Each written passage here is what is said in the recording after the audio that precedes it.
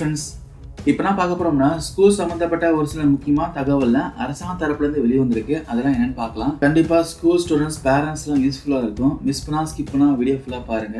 நைன்த்துலேருந்து plus one வரைக்கும் பார்த்தீங்கன்னா தேர்வே இல்லாமல் ஆல் பாஸ் செய்யப்பட்டதை குறிப்பிட்டு சான்றிதழ் வழங்க வேண்டும் என்று அரசாணை பிறப்பித்திருக்காங்க. ஸோ இந்த வாட்டி பார்த்தீங்கன்னா உங்களுக்கு வந்து மார்க்லாம் வராது கண்டிப்பாக மார்க்கு பதிலாக ஆல் பாஸ் போட்டு தான் வரும். எந்த மார்க்கும் குறிப்பிட மாட்டாங்க. நான் ஏன் அப்படி சொல்றேன்னா எதை பேஸ் பண்ணி மார்க் கொடுக்க முடியாது. ஏன்னா போன கல்வியெல்லாம் பார்த்தீங்கன்னா ஆல் பாஸ் கொடுத்தாச்சு. இந்த கல்வியாலும் ஆல் பாஸ் கொடுத்தாச்சு. எந்த ஆஃபல் எக்ஸாம் நடத்தல குவார்டர்லி எக்ஸாம் நடத்தல மிட்டம் எக்ஸாம் நடத்தல ரிவிஷன் எக்ஸாம் நடத்தல. ஸோ அதனால வந்து எதை பேஸ் பண்ணி மார்க் கொடுக்க முடியாது.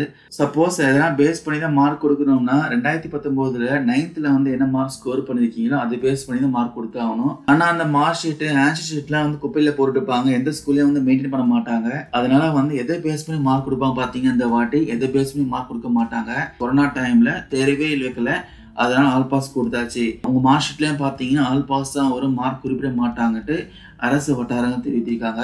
இதே விஷயமா வந்து தமிழக அரசு பிறப்பித்த அரசாணை என்ன போட்டிருக்காங்கன்னா டென்த்து ப்ளஸ் ஒன் படிக்கும் மாணவன் பெயர் பட்டியலை வந்து பள்ளியிலிருந்து பெற்று அவர்கள் தேர்ச்சி பெற்றதற்கான உரிய பதிவுடன் கூடிய சான்றிதழை அரசு தேர்வுத்துறை இயக்குனர் வழங்க வேண்டும் என்று அந்த அரசாங்கம் குறிப்பிட்டிருக்காங்க.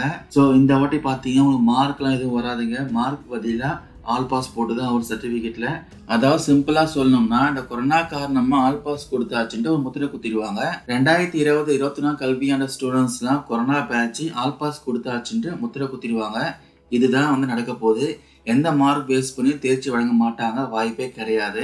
ஆல் பாஸ் மட்டும் தான் கொடுப்பாங்கன்னு தகவல் வெளியாயிருக்கு ஸோ வெயிட் பண்ணி பார்க்கலாம். தமிழக அரசு வந்து இது விஷயமா என்ன முடிவு எடுக்கிறாங்கன்ட்டு. அதுக்கப்புறம் தமிழ்நாட்டில் டென்த்து ப்ளஸ் ஒன் கிளாஸ் ஸ்டூடெண்ட்ஸ்லாம் வந்து ஆல் பாஸ்னு அறிவிக்கப்பட்டதுனால தனியார் பள்ளிகளில் மாணவர் செலுத்திய பப்ளிக் எக்ஸாம் ஃபீஸ்லாம் கல்வித்துறை திரும்ப வழங்க மாட்டு பெற்றோர்களும் எதிர்பார்க்குறாங்க நம்ம தமிழ்நாட்டில் பார்த்தீங்கன்னா நைன்த்து டென்த்து ப்ளஸ் ஒன் ஸ்டூடெண்ட்ஸ்லாம் வந்து ஆல் பாஸ்ன்ட்டு அரசாங்கம் பார்த்தீங்கன்னா திடீர்னு அறிவித்தாங்க.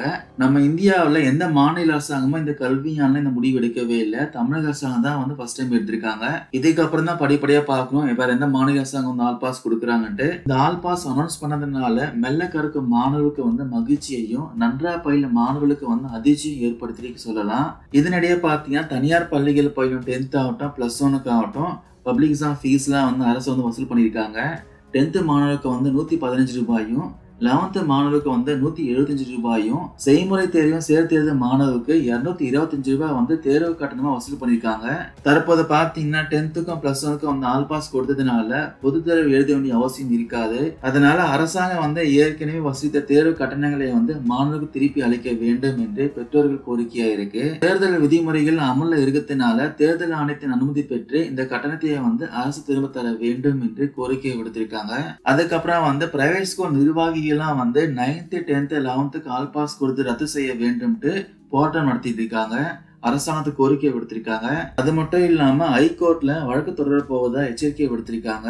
தனியார் பள்ளிகள்ல பெற்றோர் ஆசி சங்க சார்பு என்ன சொல்லியிருக்காங்கன்னா அனைத்து பள்ளிகள் மற்றும் வகுப்புகளை வந்து உடனே திறந்து அனைத்து வகுப்புகளுக்கும் பள்ளிகளே வந்து எளிய முறையில் தேர்வு நடத்த அனுமதிக்க வேண்டும். ஹைகோர்ட் தீர்ப்பின்படி வந்து எழுபத்தைந்து சதவீத கட்டண வசதிக்கு அரசாணை வெளியிட வேண்டும். இது மாதிரி ஆறு அம்ச கோரிக்கைகளை வலியுறுத்தி சென்னை டிபிஏ வளாகத்துல ஆர்ப்பாட்டத்தில் ஈடுபட்டிருக்காங்க. அதுக்கப்புறம் வந்து என்ன கேள்வி கேட்டிருக்காங்கன்னா பப்ளிக் எக்ஸாம் ரத்து பண்ணியாச்சு. எந்த அடிப்படையில வந்து மதிப்பெண்ணே இல்லாம மாணவருக்கு மதிப்பெண் சான்றிதழ் வழங்க முடியும்? அதனால எல்கேஜி முதல் பிளஸ் டூ வரையான ஸ்டூடெண்ட்ஸ்க்கு வந்து ஷிஃப்ட் முறையில் ஸ்கூல்ஸ் ரியோபன் பண்ணி பள்ளிகள் அளவுல தேர்வு நடத்த அனுமதிக்க வேண்டும்ட்டு கோரிக்கை விடுத்திருக்காங்க.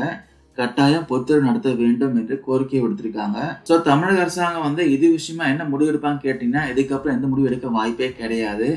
எலெக்ஷன் டேட் அனௌன்ஸ் பண்ணிட்டாங்க. இன்னும் வரைக்கும் ஒரே மாதம் தான் இந்த ஒரே மாதத்தில் ப்ளஸ் டூக்கு ஃபோக்கஸ் பண்ணதுக்கு டைம் பத்தாது. அதுக்கப்புறம் எப்படி மற்ற வகுப்புல ஸ்கூல்ஸ் ரீஓப்பன் பண்ணி கொரோனாக்கான நெறிமுறைகளை ஃபாலோ பண்ணி கிளாஸ் நடத்தி எக்ஸாம் வந்து வைக்க முடியுமா? வாய்ப்பே கிடையாது. இந்த மார்ச் மாதம் பாதி வரைக்கும் தான் ஸ்கூல்ஸ் இருக்கும். மிச்ச பாதியில் பார்த்தீங்கன்னா டீச்சர்ஸ்லாம் வந்து எலெக்ஷனுக்கான ட்ரைனிங்க்கு போயிடுவாங்க ஏப்ரல் மாதத்துல எலெக்ஷனு அதுக்கப்புறம் வெயிலின் தாக்கம் அதிகமாகிடும் எப்படி ஸ்டூடெண்ட்ஸ் வந்து வரவேற்க முடியும்? வாய்ப்பே கிடையாது. ப்ளஸ் டூக்கு மட்டும் தான் ஃபோக்கஸ் பண்ண முடியும். ப்ளஸ் டூக்கு மட்டும் தான் எக்ஸாம் இருக்கும். இன்னும் கிட்ட ப்ளஸ் டூக்கு எக்ஸாம் வைக்கக்கூடாது சிம்பிளாக வந்து ஸ்கூல் லெவலில் எக்ஸாம் வச்சு தேர்ச்சி கொடுக்கலாம். ஸோ தமிழக அரசாங்கம் வந்து ப்ளஸ் டூ விஷயமா என்ன முடிவு எடுப்பான்னு தெரியல. கடைசி நேரத்தில் வந்து ஆல் பாஸ் கொடுப்பாங்களா? அப்படி இல்லைன்னா பள்ளிகள் லெவலில் எக்ஸாம் நடத்துவாங்களா? இல்லை மாற்று வழி ஏதாவது கடைபிடிப்பாங்களான்ட்டு பொறுத்து தான் பார்க்கணும். ஸோ தமிழக அரசாங்கம் வந்து ப்ளஸ் டூ மாணவ விஷயத்தை நல்ல முடிவு எடுப்பான்னு நம்புவோம். ஸோ வெயிட் பண்ணி பார்க்கலாம்.